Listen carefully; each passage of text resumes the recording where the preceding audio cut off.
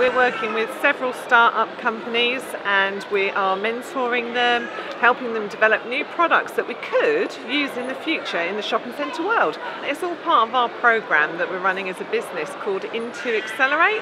We want to support start-up businesses. Every business needs a little bit of help. Shopping centres have to keep progressing. So for us, it's all about how can we use this technology? How can we create a really amazing experience that makes people want to get up on a Saturday and come and see us? They're mobile. They're designed to, to roam around the shopping centres, engage and interact with everyone.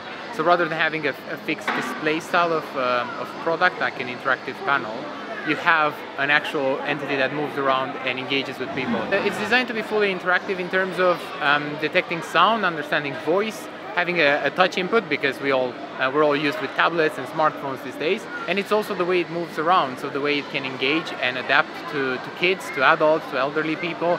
So it offers the full palette for everyone.